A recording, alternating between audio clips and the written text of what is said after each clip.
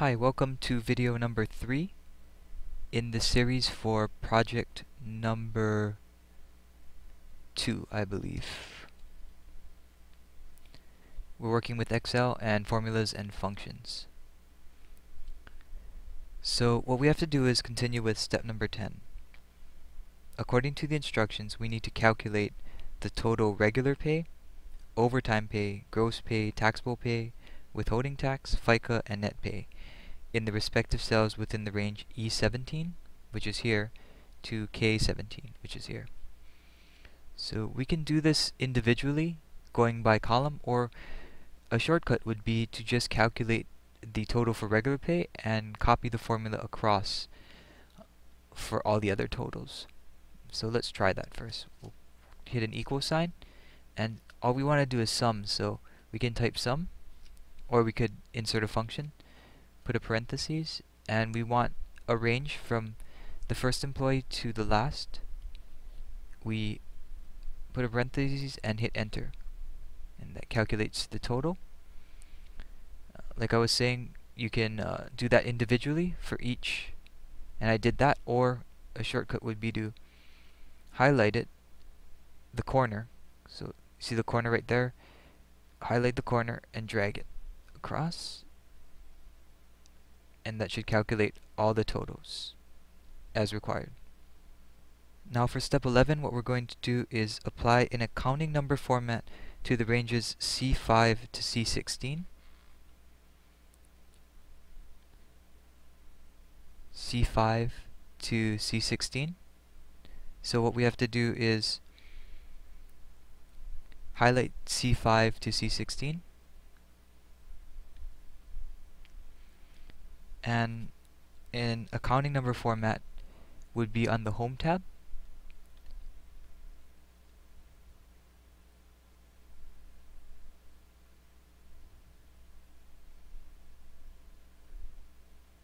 And if you look in the number format group we just want to make it accounting. Okay. And then we also want to do the same for E5 to K5. So we'll highlight E5 to K5.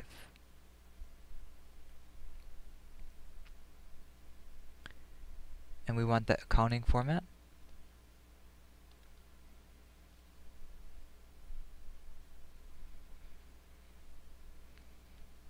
And also E17 to K17.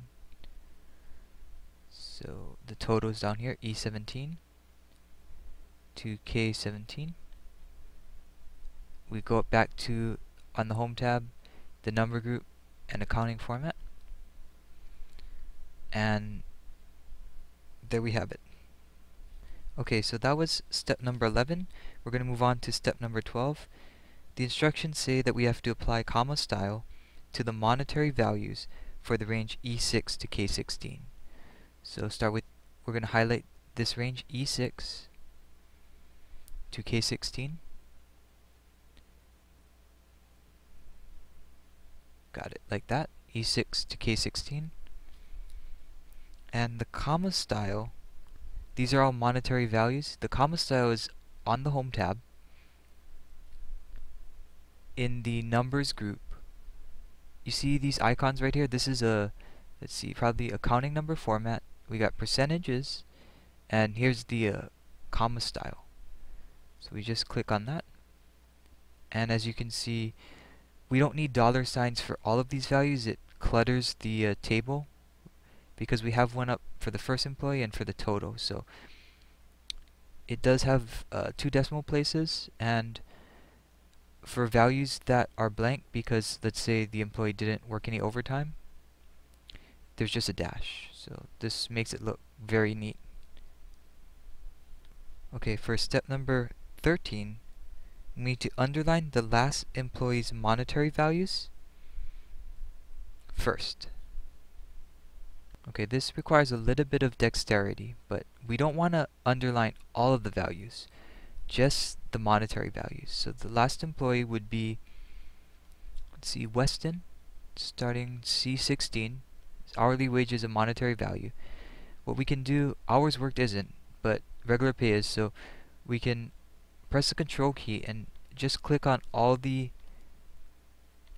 cells that have to do with money or monetary values.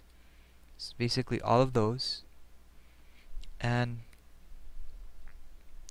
we want to underline the last employee's monetary values. So to do that we can Okay, to do that all we have to do is go to the home tab, the font group, and see this underline here? That's just going to do a plain underline. So we click that and it underlines all the monetary values. To continue with step number 13, we need to open the Format Cells dialog box to apply double accounting underline for the totals. So first we need to highlight the totals. So the totals are right here. We'll highlight the totals from see, E17 to K17 and we need to go to the Format Cells dialog box which is on the Home tab in the font group. We click on the font settings this little tab in the corner and it opens the Format Cells dialog box now this part got a little confusing. I had to actually look it up.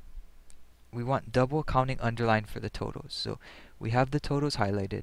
If you look over here in the font on the font tab, it says underline right now is none. But if we change this, we just highlight that. We want double accounting. For the totals, we click on that. It shows that. So we click OK. And as you can see, it has double underlined all of the totals. Now we are on step number 14. We need to insert appropriate functions to calculate the average, highest and lowest values in the summary statistics area. That's in the range I21 to K23. So if we look at our Excel worksheet and we've saved Control S or Control Save, I21 is right here and K23 it's just this table right over here. So let's just do these one by one. It's simple, but it'll work. We first want to calculate the average. So let's insert a function. We go to the formulas tab. We highlight the cell first, I-21.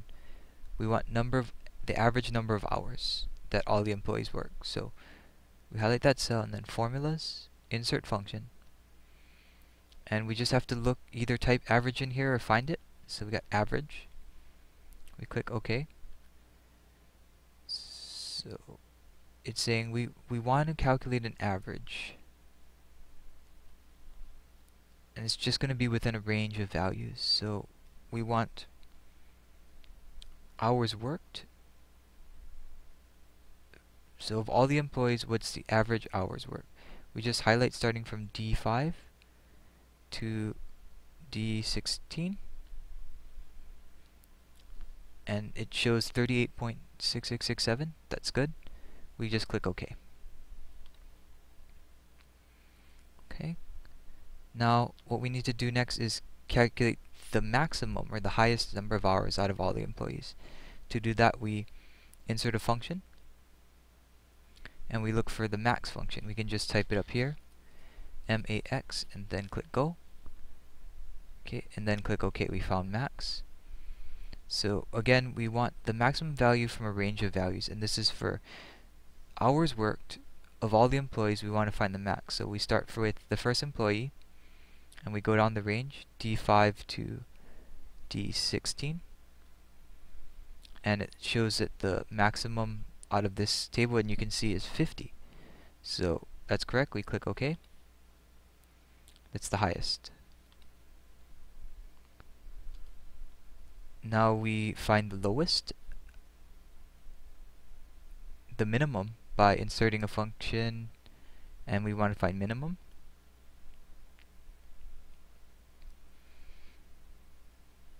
We click OK or you can type it in. And again, we want the minimum of all the employees, the minimum hours work. So we start with the first employee, go to the last, over the range, D5 to D16, and it's 15. Right here, we click OK, and that's correct. Now we can move on to gross pay.